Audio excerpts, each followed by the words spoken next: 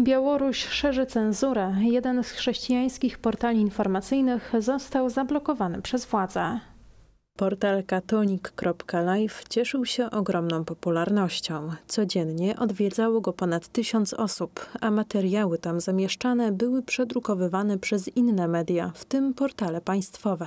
Były, bo został on zablokowany. Najpierw w Rosji, a teraz decyzją Ministerstwa Informacji na Białorusi. O przyczynach nikt nie informuje, ale dla nas są one oczywiste. Mówimy bowiem nie tylko o rzeczach pozytywnych, ale także i o zamknięciu Czerwonego Kościoła, o aresztowaniach duchownych, o tym jak wierni przeżywają wojnę, bo to niestety również stało się częścią katolickiego życia. Czytamy w zamieszczonym komunikacie. Portal nie unika trudnych tematów i ukazuje życie katolików na wschodzie. To inicjatywa prywatna. W żaden sposób nie jest finansowana ze środków państwowych. Utrzymuje się z własnych środków autora, który poświęca swój wolny czas na tworzenie treści. Pomimo blokady, redakcja zamierza kontynuować działalność, wykorzystując usługi VPN, by dotrzeć do odbiorców. Autorzy apelują do swoich czytelników o modlitwę.